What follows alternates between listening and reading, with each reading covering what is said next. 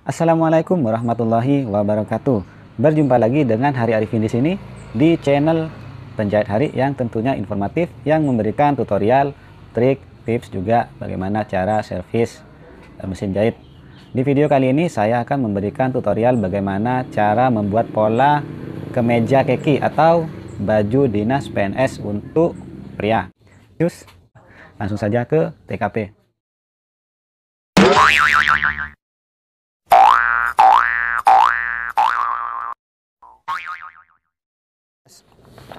Di sini saya mempunyai ukuran lebar bahu yaitu 48 cm, panjang baju 74 cm, 45 cm yaitu untuk kerung kerah, 52 cm yaitu untuk kerung lengan bagian atas, 28 cm untuk panjang lengan, 24 cm yaitu untuk pan, eh, lingkar lengan bagian bawah. Ini untuk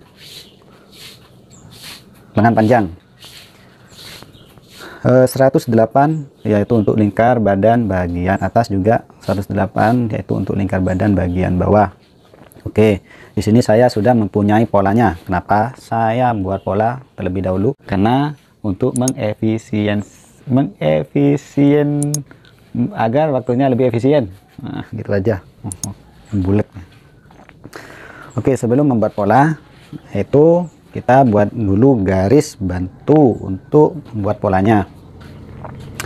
Seperti apa? Yaitu kita buat garis lurus di bagian atas. Pasti teman-teman sudah mengerti ya. Terus yaitu membuat tempat kancing seperti ini. Untuk tempat kancingnya sini saya menggunakan ukuran 6 cm yaitu 4 cm setengah untuk lipatan bagian belakang dan 1,5 cm untuk tempat kancingnya bagian depan. Kenapa? Di sini untuk baju keki yaitu ada mainan tempat kancing. Jadi tidak sama seperti seragam sekolah biasa. Selanjutnya yaitu setelah membuat garis tempat kancingnya yaitu kita buat kerung kerah. Kerung kerahnya sini saya mempunyai ukuran 45 cm langsung saja 45 cm sini kita bagi menjadi dua. Jadi ini cuma pemantapan saja ya karena saya sudah menjelaskan uh, tutorial uh, rumusnya untuk kemeja wanita. Jadi tidak jauh beda. Jadi silahkan teman-teman cek di video sebelumnya. Sini saya mempunyai ukuran 22,5 cm ya langsung kita ukur. 22,5 cm diukurnya dari angka 9 oke hasilnya 22 setengah. Ini pas ya. Selanjutnya yaitu lebar bahu lebar bahunya di sini mempunyai ukuran 48 cm langsung saja 48 dibagi dua hasilnya 24 cm ditambah kampu jahit 1 cm hasilnya 25 cm diukurnya dari garis yang ini untuk panjang bahunya pas ya 25 cm e, tinggi puncak untuk kerungkahnya. Di sini saya turunkan 4 cm dari atas dari garis bantu ini 4 cm seperti biasa. Untuk anak kecil bisa tiga setengah. Untuk dewasa ya minimal ah, maksimal lah 4 cm juga bisa 5 cm juga bisa. Jangan sampai 6 cm terlalu turun. Jadi nanti hasilnya biasanya bagian e, di bawah pundak ini biasanya melintir atau berkerut. Jadi kira-kira 4 cm saja. Setelah membuat e, pola lebar bahu selanjutnya yaitu kita buat pola kerung lengannya untuk pola kerungan sendiri di sini saya mempunyai ukuran 52 cm. Jadi 52 cm ini kita bagi dua. Jadi hasilnya 26 ya. 26 kita tambah eh, 1 cm. Jadi hasilnya 27.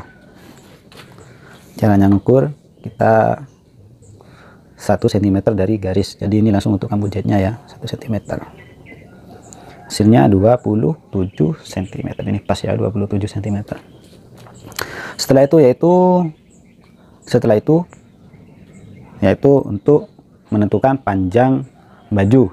Untuk panjang bajunya sendiri di sini saya punya ukuran 74 cm 74 cm langsung saja kita tambah cm 1 cm untuk kampu jahit atas dan 3 cm untuk kampu jahit bagian lipatan bawah.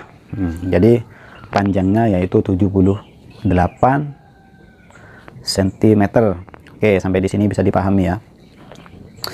Nah setelah selesai oh ya untuk lebar badan.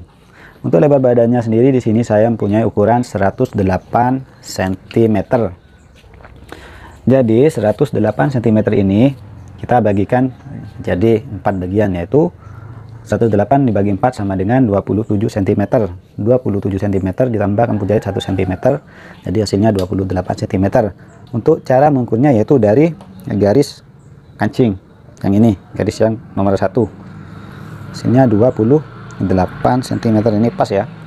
28 cm untuk di bagian bawah juga sama 28 cm atau langsung saja ya kita geser ke bawah.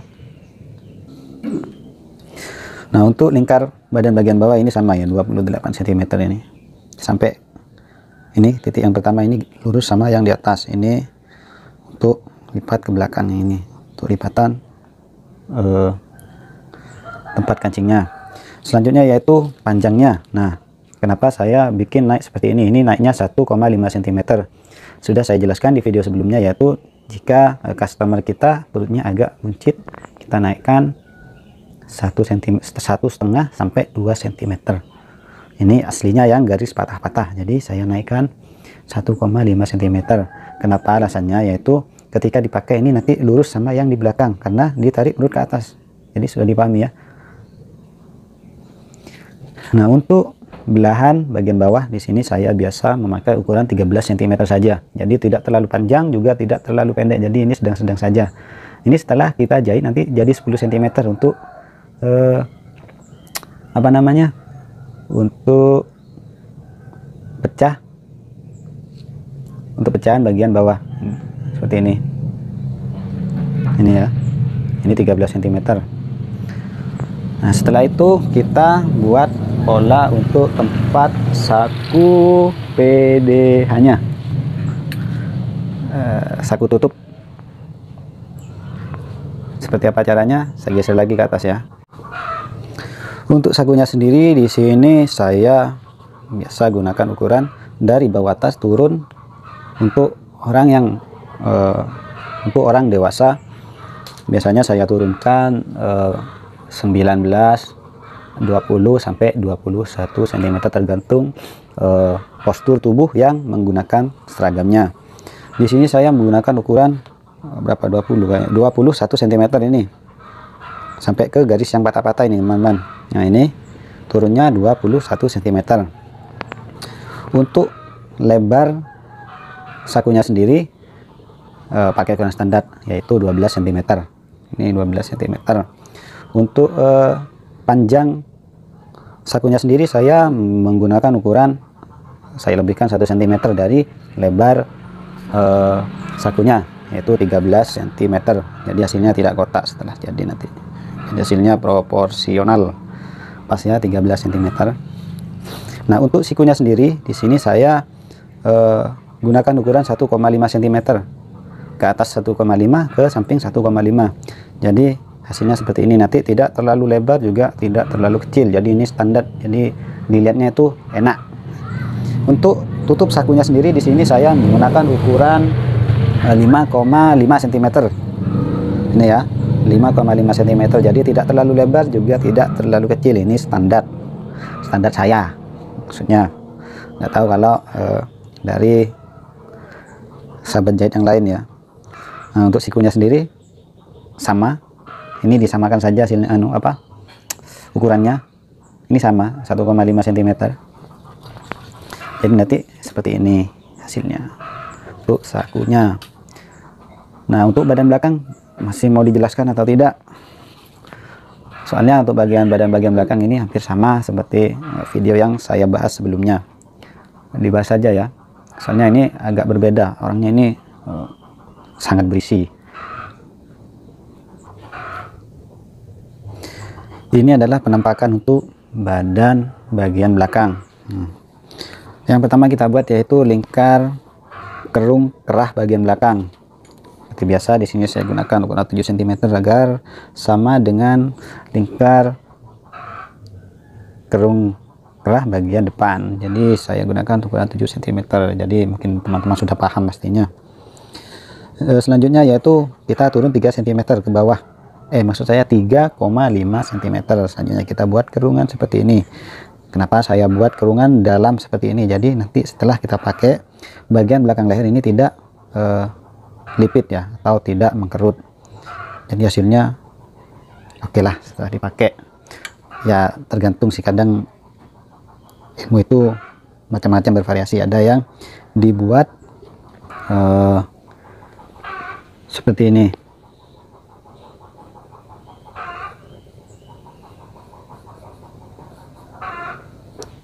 Nah, kadang ada yang menggunakan cara yang seperti ini, tapi menurut saya hasilnya kurang bagus setelah dipakai. Ada ada yang seperti ini, saya menggunakan cara yang kedua yang ini, yang bengkok ini ya. Jadi tidak menggunakan cara yang di atas, saya pakai cara yang nomor dua ini. Selanjutnya yaitu mengukur panjang bahu. Jadi bagian panjang bahu ini, lebar bahu ini harus disamakan sama yang depan. Di sini saya mempunyai ukuran 18,5 yang di depan yang di depan juga 18,5 cm jadi hasilnya nanti jika disambungkan hasilnya tidak lebih atau tidak kurang. Selanjutnya yaitu lingkar badan. Nah, lingkar badannya di sini 108 dibagi 4 hasilnya sama ya 28 plus lampu jahit 1 cm ini hasilnya 28 cm ini ya pas ya 28 cm nah untuk kerung lengan bagian belakang nah di sini ya perbedaannya untuk kerung lengannya di sini saya mempunyai ukuran 52 cm. Nah, 52 cm ini kita bagi menjadi dua. Berapa hasilnya? Ya, 26 cm. Nah, penambahannya kadang ada yang ditambah 4 cm, ada yang ditambah 6 cm, ada yang ditambah 8 cm. Berhubung ini orangnya agak berisi ya. Jadi saya tambahkan yang 8 cm. Jadi penambahannya ini macam-macam ada yang 4 6 ada yang 8 ya tergantung dari ilmu yang diterapkan saya biasanya menerapkan ukuran antara 6 4 6 8 jadi saya lihat-lihat orangnya juga lihat customer saya yang mau pakai jadi hasilnya yaitu 26 tambah 8 hasilnya berapa? Hasilnya berapa ya? Ya 34 nah, cara ngukurnya gini. Ini sudah plus kampung jahit 1 cm nah, nah ini pas ya 34 cm kelihatan? 34 cm untuk panjangnya sendiri cara ngukurnya yaitu kita ukur dari bagian ini ya bagian bawah kerung lengannya. Oke saya geser agar lebih jelas. Diukurnya dari titik ini sampai ke bawah. Kalau tidak salah ini punya ukuran 51 cm nah ini punya ukuran 51 cm ya tampil. 51 cm jadi 51 cm kita tarik garis lurus dari ini ujung yang ini ke bawah. Nah ini ya 51 cm untuk sampai garis yang paling bawah. Kita tarik meteran kita ke atas. Nah di sini punya ukuran 80 5,5 cm kurang 2 mili lah. 85,5 kita geser ke samping kanan. Jadi itu cara ngukurnya nah, ini ya. Pas ini ya. Nah, kita tarik garis lurus. Jadi hasilnya sama sama di sini. Untuk eh, belahan bawah sama 13 cm nah berhubung di sini ada celah lebihnya kain jadi saya gunakan sebagai kerah sama lidah bahu. Ini kerahnya ini lidah bahunya. Ini kerahnya 14 cm ini lebihnya kain ini. Nah jadi untuk kerah yang kecil itu di bawah daun kerah saya pakai 6 cm yang di atas yaitu 8 cm ini pas ini ukuran pas untuk tempat lidah bahunya ya ambil lebihnya seperti inilah. Jadi ini nanti pas. Untuk eh, lengan kita ambil bagian bawah. Nah catatan untuk teman-teman penjahit pemula yang baru terjun ke dunia menjahit sama sih saya juga masih pemula. Ilmunya masih eh, seujung kuku katanya teman-teman yang sudah mahir. Eh, di sini saya punya ukuran kain 2,5 cm jadi ini menurut perhitungan saya jadi ini ada lebihnya lah dikit. Untuk bajunya sendiri ini kira-kira ukuran XL ini lebar kain kira-kira bukan kira-kira lagi ya ini double. Nah, kenapa saya double bilang double? Untuk kain double yaitu mempunyai lebar 150 cm jadi jika kain itu tidak double yaitu mempunyai ukuran 115 cm jadi ini diingat ya baik-baik nah untuk kain lebar 1,5 eh, maksud saya 1,5 meter. Untuk membuat baju eh, seperti ini lengan pendek kira-kira e, membutuhkan kain sekitar 135 kira-kira itu ya. Ini sudah plus e, saku sama tutupnya. E, pokoknya kira-kira 135 untuk baju kaki seperti ini. Dengan catatan kain harus dengan lebar 1,5 meter. Jadi 135 meter itu sudah cukup untuk atasan saja. Jadi untuk celananya saya biasa eh, menggunakan kain minimal 1,25 cm jadi 1 meter 25 untuk eh, celananya. Tapi tergantung ya. Itu ukuran standar berat badan 75 ke bawah kira-kira itu ya. Jadi jika mempunyai badan yang agak berisi atau orangnya tinggi besar untuk celananya sendiri kira-kira membutuhkan kain satu setengah meter. Jadi mempunyai ukuran yang standar lah kira-kira seperti saya berat badannya 68 jadi ukurannya 32 ukuran celananya ya kira-kira membutuhkan 1,25 cm oke ini ukuran kain yang saya kerjakan sekarang 2,5 meter. Yang saya kerjakan eh, saat ini. Jadi ini pas ini ada lebihnya masih sedikit. Jadi sebagai penjahit kita harus bisa eh, istilahnya itu apa ya mengirit kain. Jadi kalau nanti kita boros pakai kain jadi bisa-bisa kurang. Jadi customer kita tanya loh kok bisa kurang? Padahal kayaknya sudah segitu. Nah jadi kita harus pintar-pintar uh, mengirit kain. Contohnya seperti ini ya. Ini masih tinggal uh, lengan sama ini saku oke sampai di sini bisa dipahami ya jika ada yang masih belum dimengerti silahkan tinggalkan Eh, pertanyaan kawan-kawan di kolom komentar. Jadi saya akan uh, langsung menjawab di video atau di kolom komentarnya itu sendiri. Oke, bagi kawan-kawan, nah, sekali lagi ya, bagi kawan-kawan yang belum uh, berlangganan di channel penjahit hari, silahkan klik tombol subscribe-nya. Nah, untuk mendapatkan video terbarunya, klik icon tombol loncengnya. Nah, lalu jangan lupa like, comment, share juga ke sosial media kalian. Oke, sampai di sini dulu. Sampai berjumpa di video selanjutnya. Assalamualaikum warahmatullahi wabarakatuh.